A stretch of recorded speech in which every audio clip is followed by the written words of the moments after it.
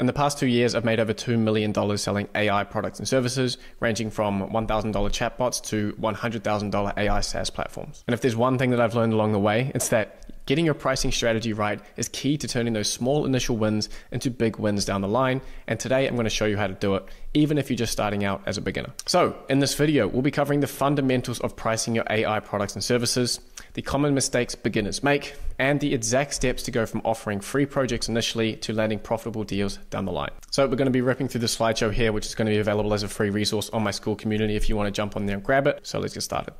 Firstly, who am I? If you're new to the channel and don't know who I am, my name is Liam Ottley. I'm the founder of Morningside AI and a number of other AI companies. I've started my AI journey in January of 2023. I didn't have any formal education in AI or software development. I was all self-taught. I started off with a YouTube channel, which you're watching right now. That led me into AI consulting. That led me into starting my own AI automation agency, Morningside AI, and really discovering that model as a whole. Then I started my own education business, my AAA accelerator. I've got my own SaaS as well that I built now too. So I've sold a lot of AI stuff basically, ranging from like thousand or fifteen hundred dollar chatbots all the way up to one hundred thousand dollar AI SaaS builds, which is the biggest project that I've ever taken on at Morningside AI. And more recently, over the past six months, my businesses collectively have done over a million dollars in revenue, which you can see here, which I put out on my newsletter. So some of you might have seen that, but that's enough about me. Let's get into it. So, what are we going to be covering today? These are the topics. I'm just going to jump straight into them now. So, firstly, why pricing matters. Why is it so important? Well, it's actually the foundation of your agency because we are running a business and you need to charge a certain amount in order to make a profit. Your price and the price that you charge out at needs to be more than the cost that you incur to deliver that service. That's how we make profit and that's how a business works. If you don't make profit, you don't really have a business, or some big tech companies would say otherwise. But for businesses that we want to run, you need to make profit. And at a basic level, the pricing strategy you use determines how much profit you can make. Secondly, our pricing shows our value. So the amount that we're charging out tells clients how good our services are, basically. The more we're charging,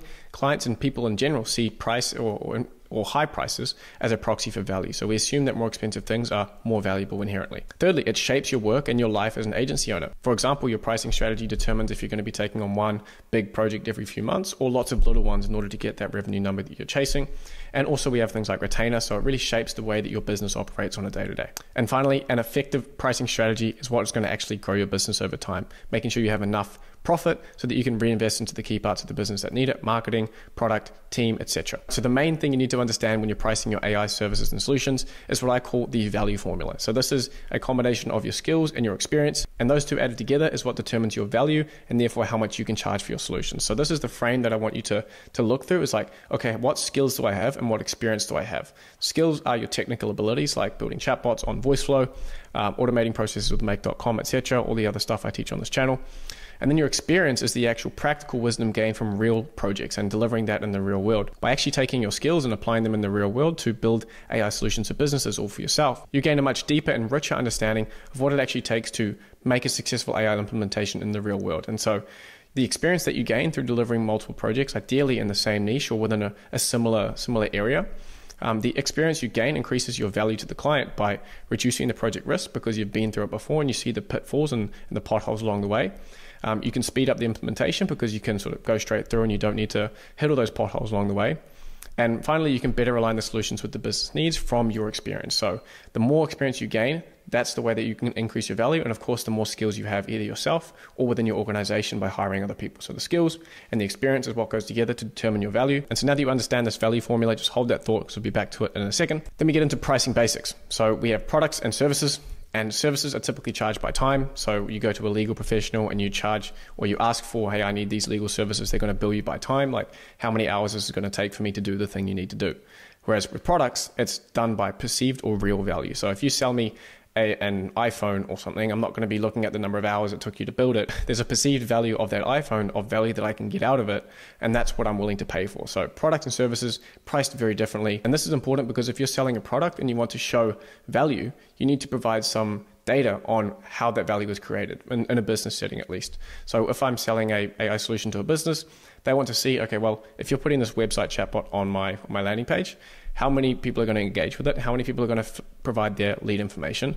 How many people have, based on my close rate, is that going to convert into into closed deals, and how much revenue am I going to get? So, what is the the data that shows that there is some value attached to this? Because if there's no data showing that someone's going to use it, then you're kind of just taking a stab in the dark and making up numbers about the value that this product or that this thing will be able to create for the business owner. So, in order to prove or communicate value, you need data in most cases. But beginners, when you're starting an AI automation agency, you don't have any first hand data or proof of results.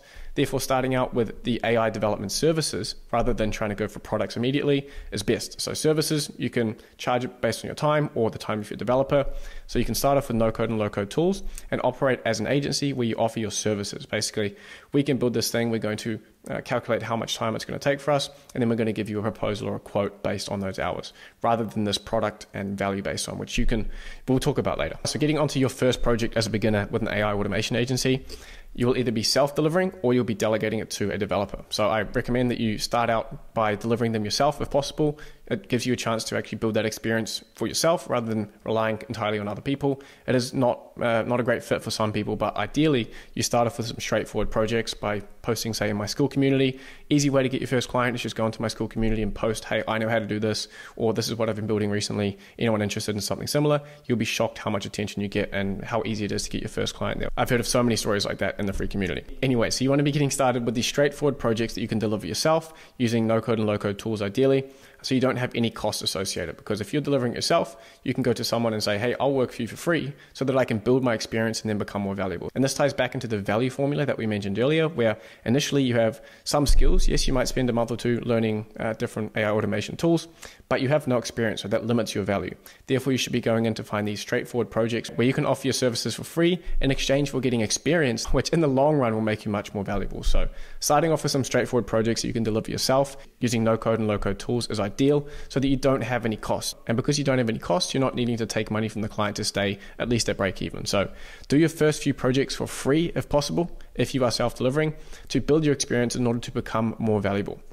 However, if you must hire and you're one of those people who just refuses to do a bit of tinkering themselves and get a bit of hands on experience, then you should be offering your services at cost in my experience and in my opinion, because since you don't have any experience delivering these kind of projects, it's a bit richer for you to go to these clients and say, hey, look, I want you to pay me to learn on your business, which is basically what you're saying. So it does depend on your situation. If you bring on a developer who has a ton of experience, then technically the experience for your entire organization goes up and the skills also, and therefore you become a little bit more valuable. But as a rule of thumb, when you are getting started, even if you're delegating and hiring a developer, then I recommend that you offer your services at cost just to take the pressure off your back as well. Communicate that clearly with your first client or a couple of clients.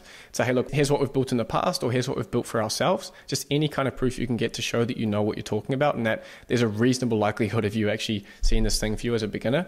But coming in and offering your services at cost and being like, hey, I have my developer, I'm willing to do this deal for you at cost because I value your testimonial more than the money that this will make me. And a really key point here at the end, which is by offering them projects at cost, clients will be more lenient with you if things fall short of expectations, which as a beginner, delivering your first few projects is highly likely because you have you, you sell them the dream just to get the, the deal over the line and unfortunately, you realize it's a lot more difficult to deliver that than uh, than you expected. So it's completely normal. But the issue is exacerbated if you've charged them a whole bunch of money and you were going to be trying to pocket a few thousand dollars starting out. And this kind of thing of rushing to the money and trying to skip this learning phase and going straight to selling and making as much money you can out of this AI space is really one of the biggest issues that I'm seeing in beginners approaching this. I was on my free community Q and A in the school Skool community this morning, and there was this guy who came up on stage and he was saying, "I'm going to be selling gyms, this, this, this, and this." And I was like, "Well, have you? What have you done? What are your baby steps that you've done to get to this point of selling this big expensive package to them. And it's like, oh well, like no, I've just I've just started. Like how how hard can it be? But if you're a beginner, just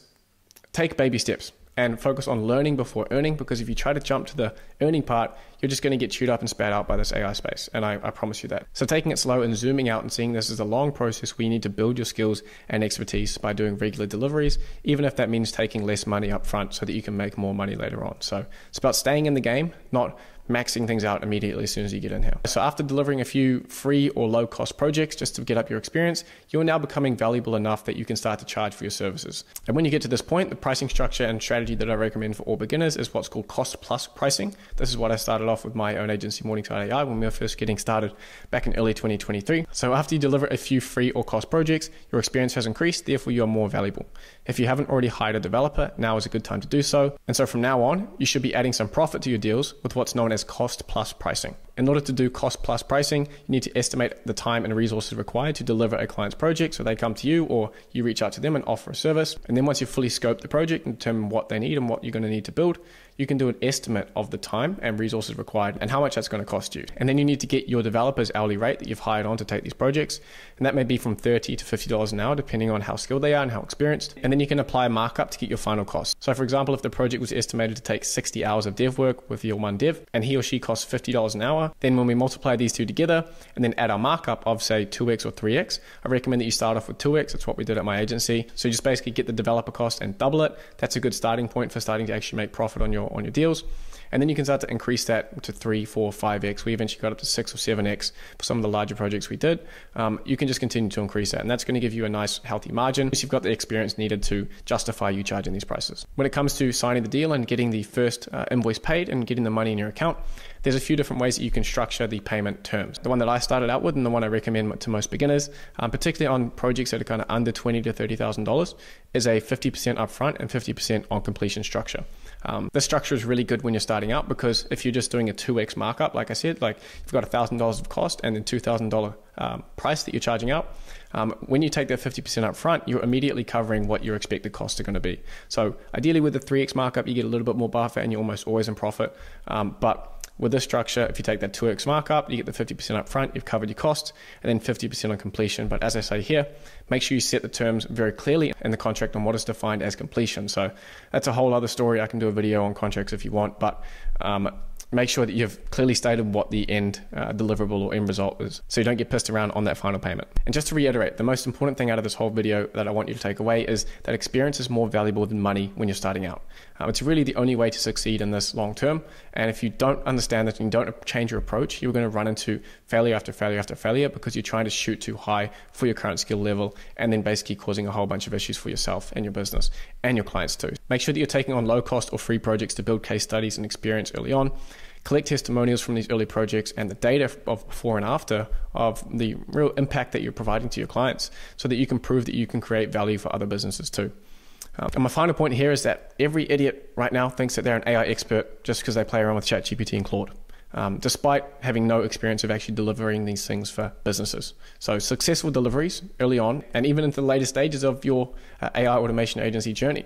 These successful deliveries are really the gold in the space and should be your number one goal early on. It's just can I get a handful of successful deliveries under my belt to see things through to completion, to work with clients and get experience in dealing with them, and then have the data that I can use to go and increase the prices of my services as you continue to take on more clients. Quick recap of the key takeaways in this video. We have experience coming first. Prioritize gaining experience and case studies over immediate profits, which is easy to do as a beginner.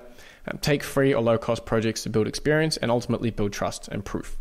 Secondly, cost plus pricing. So after a few successes, you can add profit to your rate by using cost plus pricing with a 2x markup initially. Thirdly, structure your deals with a 50% upfront and 50% on completion uh, structure to cover costs and reduce risks initially. Number four, experience plus skills equals value. Your skills and experience define your value. Increase your rates as you grow. And finally, Keep it simple. Start with basic, no code or low code projects, depending on your skill level. If you're a developer coming in, obviously you can jump up a bit higher in order to minimize your costs and reduce the complexity of your builds and really accelerate your learning before you start tackling complex projects, which are definitely out there. And this video is only really just scratching the surface on AI automation agency pricing. There's a, a lot more to it retainers versus upfronts, pricing by milestone, cost plus versus value based pricing, data collection for price maxing, and more. There's so much left to it. I really had to exclude a lot out of this just to keep this short and sweet for beginners. But if you want to learn about these topics, you can firstly subscribe to the channel because I might make some videos on it later. Actually, drop a comment below if you want me to make any of those videos or these parts of it that you're particularly interested in. And if you haven't already, join my free Skool community, which is my first link